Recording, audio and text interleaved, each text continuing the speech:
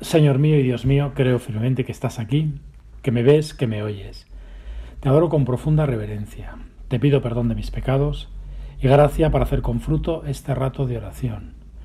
Madre mía Inmaculada, San José, mi Padre y Señor, Ángel de mi guarda, interceded por mí.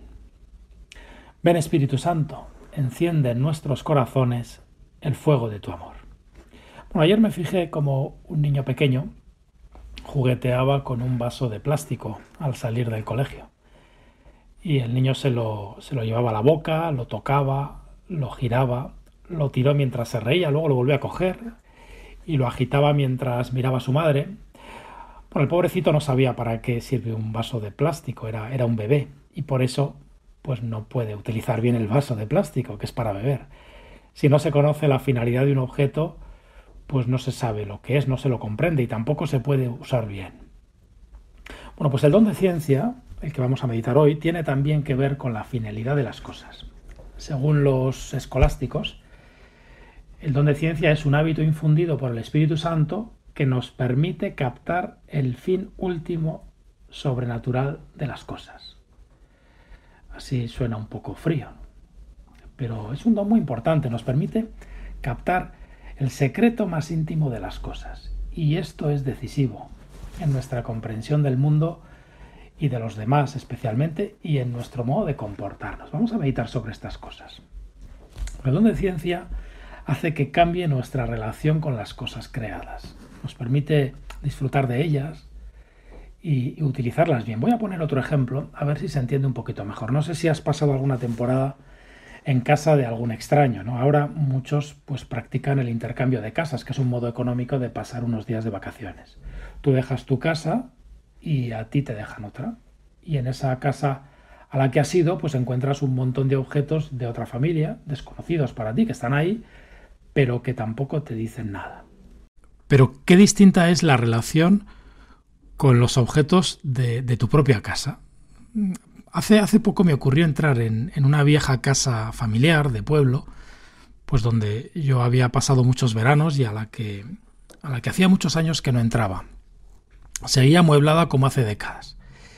Y, y, claro, cada objeto de esa casa estaba como encantado, me hablaba, ¿no? Continuamente evocaba recuerdos, el cariño de unos abuelos que ya no están, ratos de juegos infantiles a la luz de una ventana por la que tantas veces pues he mirado, había fotografías que me hacían sonreír, un jarrón pues que tantas veces ha sido testigo de, de, tertulias, de risas, de confidencias. Bueno, pues esos objetos pues me hablan de personas queridas, del padre que ya no está, de tantas cosas vividas, y la relación con esos objetos es muy distinta de la que se tiene con los objetos de una casa extraña. Bueno, pues esta experiencia tan humana nos puede servir para entender un poquito mejor lo que es el don de ciencia. Como dice el Papa Francisco, cuando nuestros ojos son iluminados por el Espíritu Santo con su don de ciencia, entonces empezamos a descubrir cómo cada cosa nos habla de Dios y de su amor. Entonces cambia nuestra relación con las cosas creadas. El don de ciencia hace que veamos las cosas como cosas de mi Padre, como cosas entrañables. El don de ciencia nos ayuda a descubrir ese secreto escondido en las cosas y que es un secreto mucho más profundo pues que su composición química o que las propiedades físicas que estudian las ciencias experimentales. Hace que veamos el mundo y la creación como, como algo muy nuestro, muy familiar, muy de Dios. El don de ciencia por eso nos, nos ayuda también a descubrir que todo lo creado esconde una invitación a la relación con Dios. Por eso pues las almas llenas del don de ciencia, hay muchos santos que, destacan mucho en este don, en este, este hábito. Tienen, esas almas tienen una gran capacidad de gozar y de asombrarse al contemplar la creación, porque ven en ella, en la creación, el amor de Dios y saben respetarla, por tanto, y contemplarla como un regalo. Eh, no sé, hace poco, hace poco escribió el, el, Papa Francisco una encíclica, Laudato Si, alabado sea, que así comienza la encíclica, una encíclica mm, que está escrita desde esa contemplación amorosa de la creación. desde ese, podríamos decir, don de ciencia, ¿no? Y esta encíclica comienza con unas palabras de San Francisco de Asís, ¿no? que es probablemente el santo que, que, puede encarnar ¿no? de una manera más clara este don de ciencia. Y dice así San Francisco, Alabado seas, mi Señor, por la hermana nuestra Madre Tierra, la cual nos sustenta y gobierna y produce diversos frutos con coloridas flores y hierba. Es fantástico como San Francisco de Asís habla de la hermana, del hermano Sol, de la hermana Luna, de la hermana Tierra, porque ve en todo lo creado eh, esa, esa huella del Creador, esa, esa familiaridad, como me pasaba a mí cuando entraba en la casa de mis abuelos, ¿no? que todos los objetos te hablan de tu familia. ¿no? Y, es curioso que precisamente el santo que más ha cantado el gozo y la belleza de las cosas creadas sea al mismo tiempo el santo de la pobreza. Y es que el don de ciencia se cultiva precisamente en un alma pobre.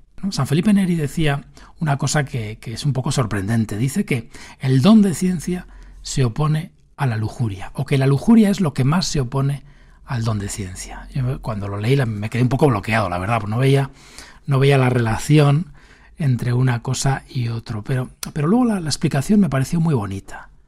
Es que la palabra lujuria tiene la misma raíz que lujo, y, se remonta a un término griego que hace referencia a lo que resbala por la superficie sin poderla penetrar. Bueno, en, definitiva, ¿qué quiere decir todo esto? Pues que lujo y lujuria tienen que ver con un andar en la superficie, con no ver más que la superficie, con no penetrar en el secreto profundo íntimo de las cosas. Y claro, el don de ciencia tiene que ver precisamente con todo lo contrario, es captar lo escondido, lo profundo de las cosas, el amor de Dios al que remiten. Por eso, lo que se opone al don de ciencia es lo superficial, es el cultivo de lo, aparente, es, es la vanidad en definitiva.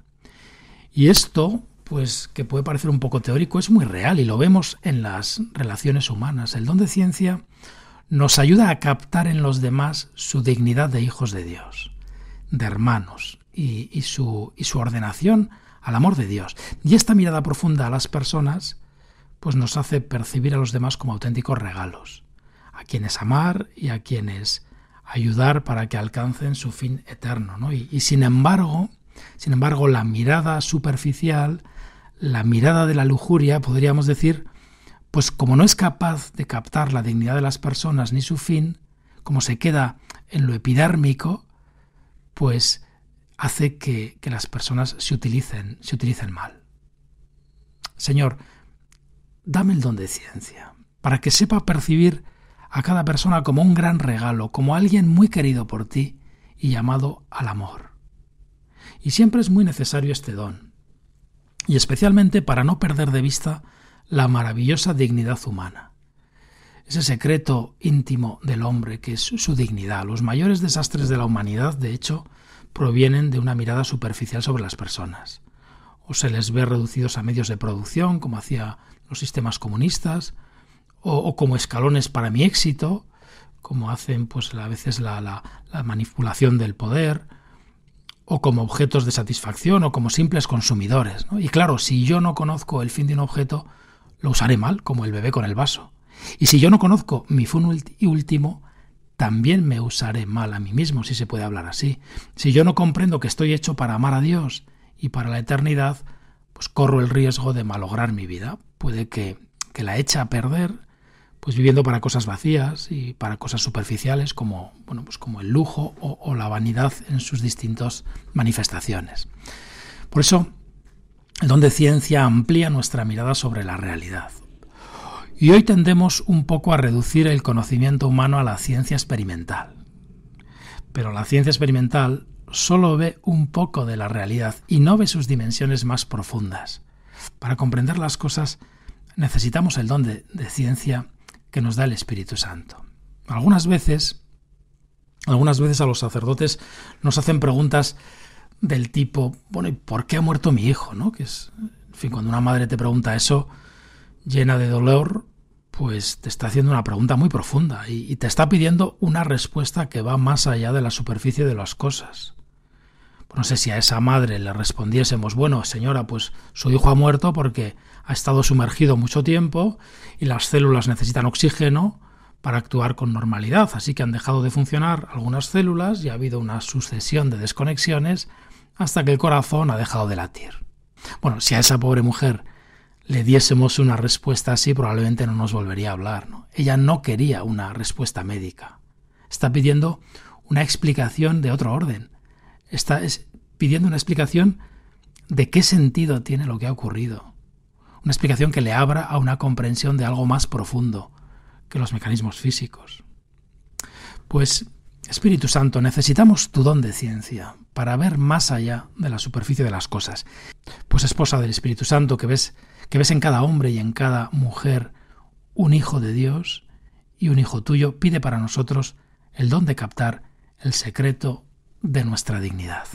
Te doy gracias, Dios mío, por los buenos propósitos, afectos e inspiraciones que me has comunicado en esta meditación. Te pido ayuda para ponerlos por obra. Madre mía Inmaculada, San José, mi Padre y Señor, Ángel de mi guarda, interceded por mí.